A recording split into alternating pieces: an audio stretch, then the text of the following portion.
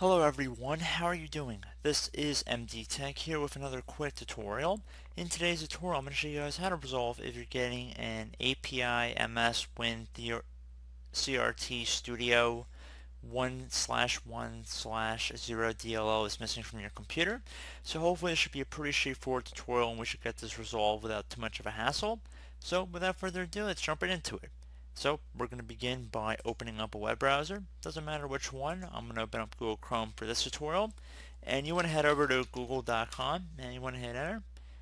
So once you're on Google, you want to type in Visual C++ redistributable for Visual Studio 2015. You want to hit enter. One of the best matches should be from Microsoft domain to download the redistributable for Visual Studio 2015. So I'm going to just left click on that one time to open up this page.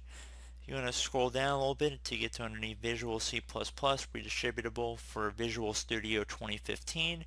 Underneath select language, make sure it's the correct language and then left click on download.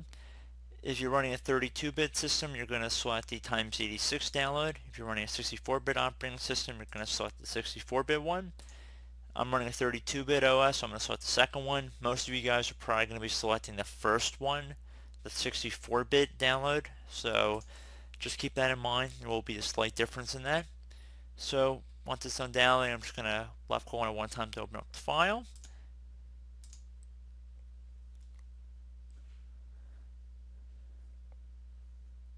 And again, it's going to left click on it one time. You're going to get an open file security warning. Left click on run. I'm going to minimize that of a web browser. Agree to the license terms and then left click on install.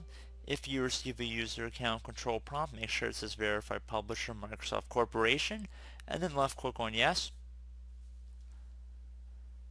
It should say setup successful once it's done. Recommend closing out of here. Restart your computer and hopefully your issue has been resolved. So as always, thank you guys for watching this brief tutorial. Do hope I was able to help you out, and I do look forward to catching you all in the next tutorial. Goodbye.